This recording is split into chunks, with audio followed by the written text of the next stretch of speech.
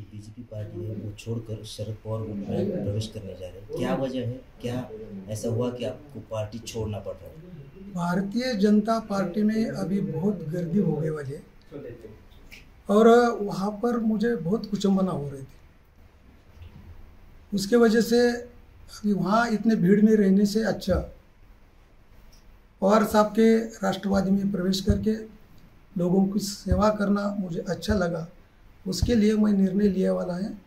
उनतीस तारीख को एक बजे मैं पवार साहब के उपस्थिति में, राष्ट्रवादी में प्रवेश करने वाला हूँ।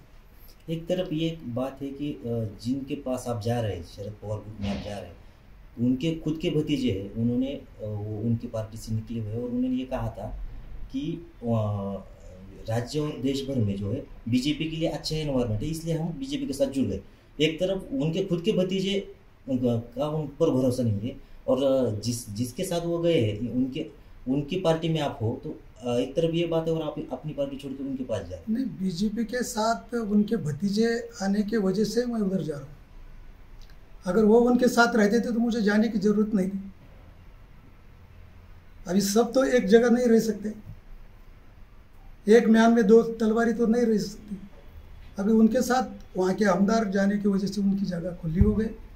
पवार साहब ने मुझे बोला कि, बोले कि विनायक राव तुम मेरे साथ आओ। मुझे भी अच्छा लगा।